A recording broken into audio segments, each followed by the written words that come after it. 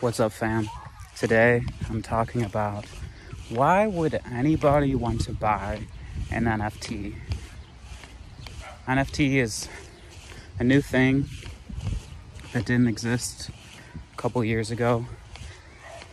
I don't know anything about it, so why would I buy one? So, the way I like to think about NFTs, which stands for non fungible token, is that an NFT is like a key. A key that you can use to unlock things that you want. So, without knowing exactly how NFTs work, you can still use them and still get value out of them. Like think think about it like your car. Like I have no idea how my car works, but I still use it every day and it still gets me where I need to go and it unlocks the world for me, the world outside of things that I can get to through public transportation or walking like I'm doing right now.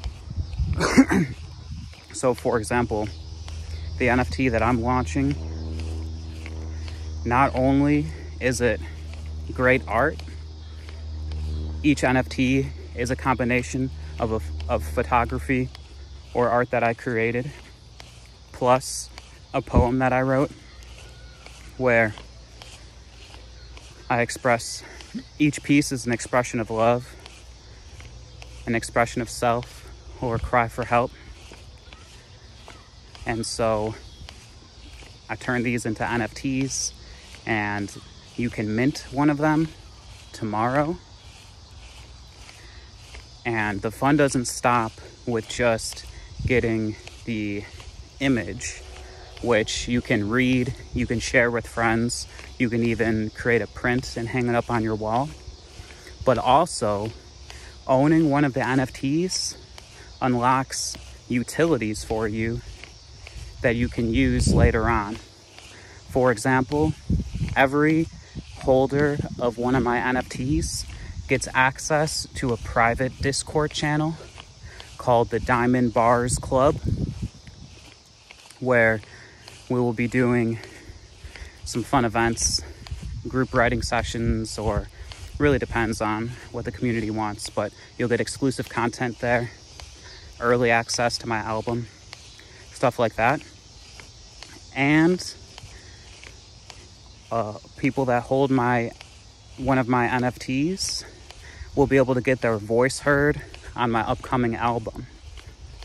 So, what that means is there will be a song in the album that gets released on streaming services and YouTube and SoundCloud and everything, where each holder of one of the NFTs will have like maybe 10 to 15 seconds to say whatever they want,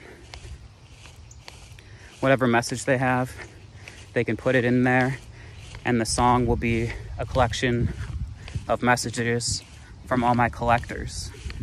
And the way the NFT works, just so you can understand, is there's going to be a website where only people with the NFT can access this website. And once each NFT is used to submit an audio file, it cannot it can't happen again. So like you you use your crypto wallet to sign the audio file and with proof that you hold a specific token. And then from there on out, that token can no longer be used to take that action.